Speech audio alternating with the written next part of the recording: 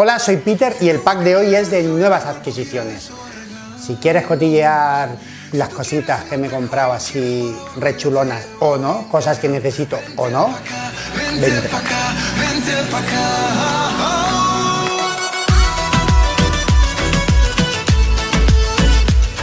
Bienvenido a todo el mundo otra vez a este canal, que siempre lo digo con rabia, pero no es que lo diga con rabia, es que lo digo con ganas, porque quiero daros la bienvenida a la gente que lleva aquí desde los principios de los tiempos, a toda la gente nueva y a la gente esta que pasa por aquí que no sabe, me he encontrado este vídeo, ¿qué tal?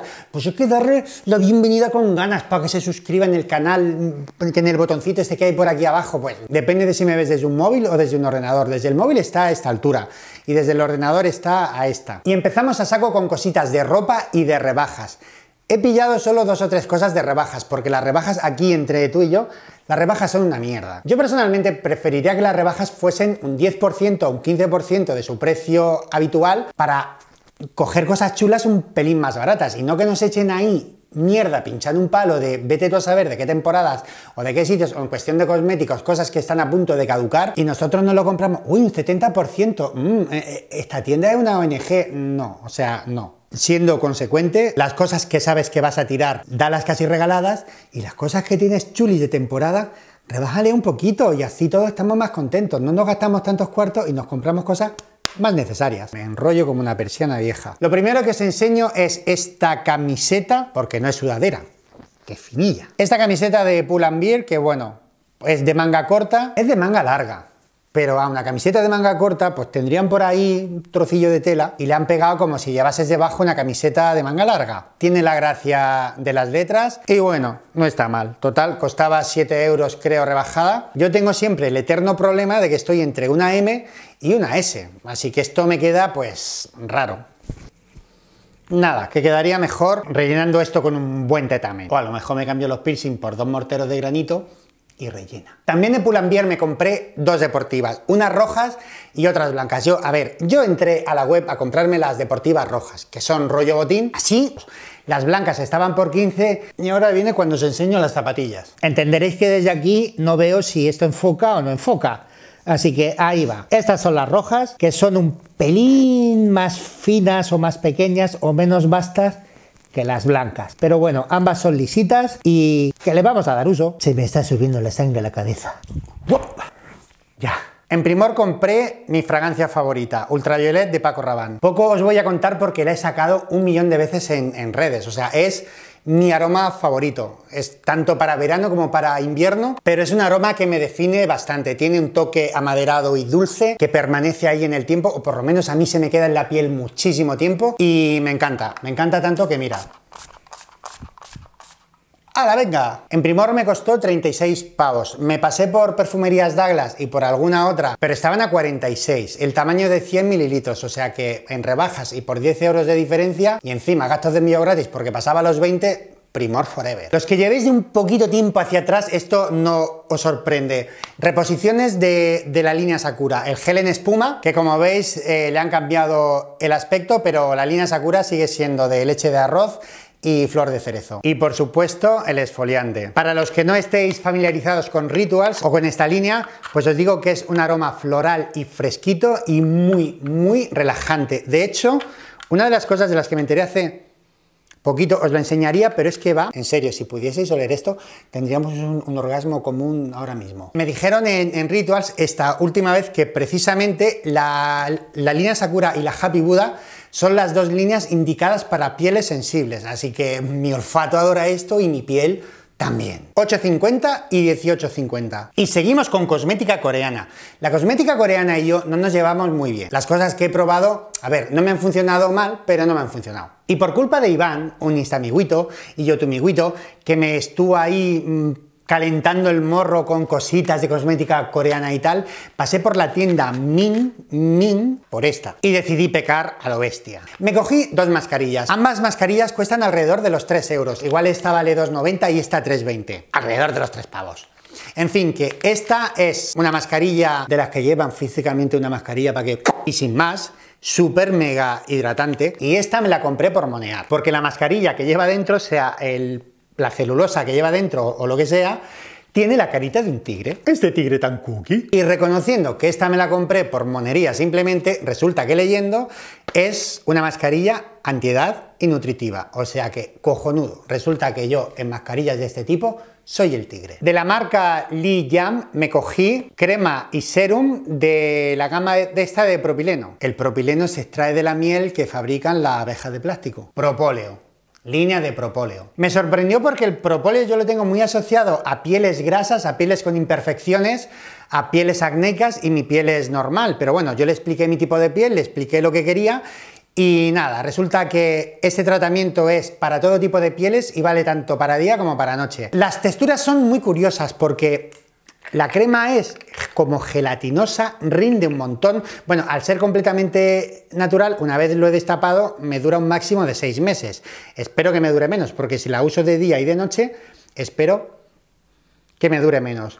El olor no es nada intenso, cosa que me gusta, que no le pongan aroma a las cositas. No sé si podéis ver la textura, pero vosotros me creéis cuando yo digo que esta crema es un poquito gelatinosa y que rinde mucho. Y con el serum pasa un poco lo mismo, o sea, la textura es como aceitosita, aunque no te deja la cara nada grasa, pero igualmente eh, rinde muchísimo y le cuesta absorber. De esto no me esperaré a contaros cuando la termine, me esperaré pues eh, lo típico que se espera uno para estas cosas, cuatro o cinco semanas, seis, por ahí, por ahí, y bueno, si merece la pena, pues os haré una revisión. Y si es una mierda pinchando un palo, os haré también una revisión. Si me quedo ahí en medio, pues pasará sin pena ni gloria mm, y con mucho dolor en mi cartera por mi vida. Y vamos a terminar el vídeo con las, y lo de terminar es representativo, porque de las tengo un mogollón de cosas, más las que he gastado.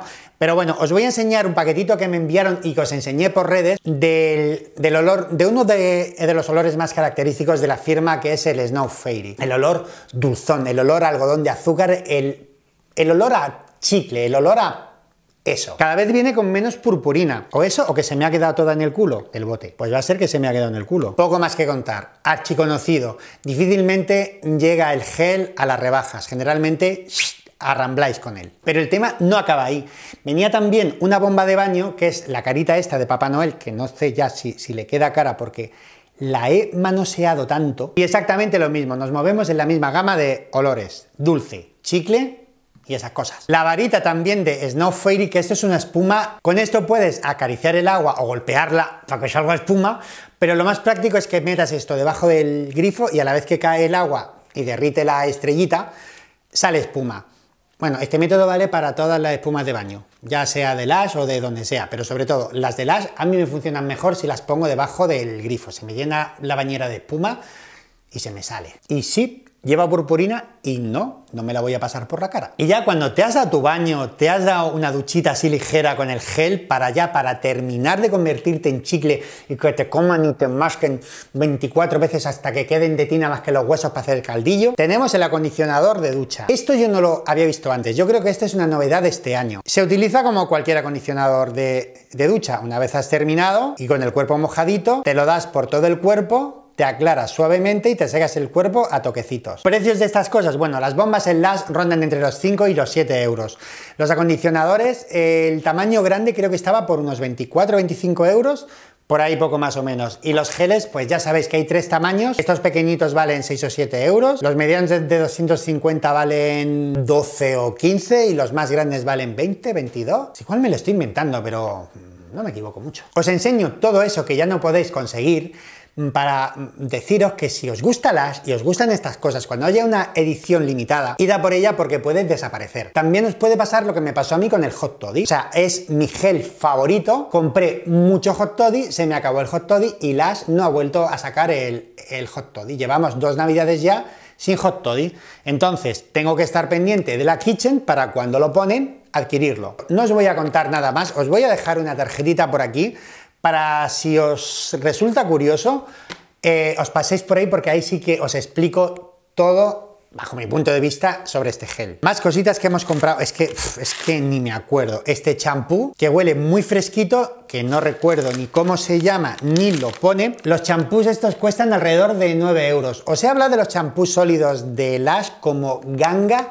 super mega ganga. El otro que tengo, que lo tengo y que no va ni por la mitad, lo tengo como hace dos meses, es el de Argan. Ese sí que es específico para cabellos secos y cuero cabelludo seco. Y este pues imagino que también, pero será más suave, porque vamos, lo pedí tal cual. Vale, tenemos un paquetito sin etiqueta y que está vacío, o sea que aquí habría algo, probablemente una bomba de baño que ya le he disfrutado, y seguro que lo hemos pasado muy bien tú y yo. Ahora os enseño el Rainbow. Bueno, lo mismo os lo enseño así, ¿vale? Esto es el fan, la barrita esta que sirve para mogollón de cosas. Esto lo puedes usar como champú, lo puedes usar como gel, lo puedes usar como espuma de baño y si metes a los chiquillos a la bañera, lo puedes usar como plastilina para que jueguen y hagan muñequitos. Si yo fuese apañado, os haría un muñequito con esto y lo subiría a las redes. Pero tenéis que saber desde ya que esto es todo lo que soy capaz de hacer con plastilina. Bueno, también sé hacer esto. No sé si os he dicho lo que cuesta, pero las barras de fan cuestan alrededor de los 10 euros, 11, 9. Y ahora, tres cositas que me regalaron, pero que ya las he probado. Esto es una bomba fresquísima. Esta se llama Shoot for Star o algo así. Es que yo entiendo que los nombres en inglés mm, son más chulos pero cuesta pronunciarlo. Ahora, agradecemos que, lo hayan puesto todo en inglés, porque por ejemplo el Snow Fairy pues es el hada de la nieve, que queda así muy bonito, pero hay otro, otro olor así mítico de Lash que es de Comforter, que traducido sería el consolador. Claro, tú no le puedes decir a nadie, vengo de comprarme un consolador, o lo puedes contar, pero vamos, va a quedar así un poquillo como...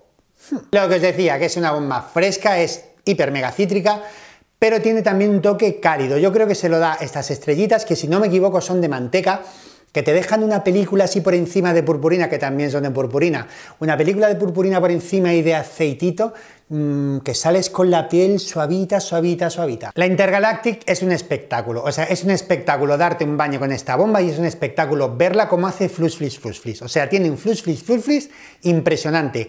Hay mogollón de fotos y de vídeos por todas las redes sociales.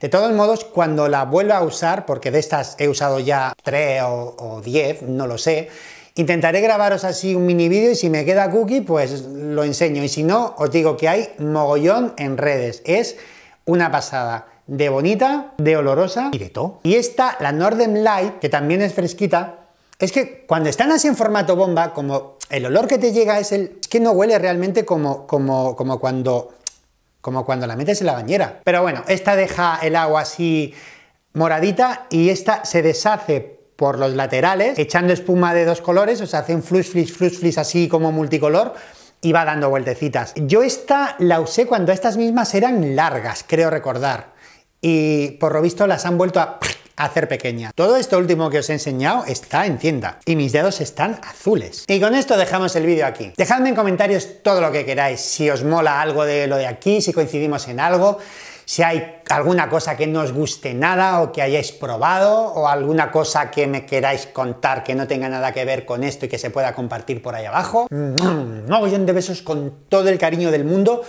A ver si nos vemos dentro de muy poco en el próximo vídeo, por supuesto, o por las calles, que nos podemos ver de muchas formas. También nos podemos ver en las redes sociales, que las tenéis por ahí abajo en la cajita de información. Y el abracito de dos vueltas, aquí viene.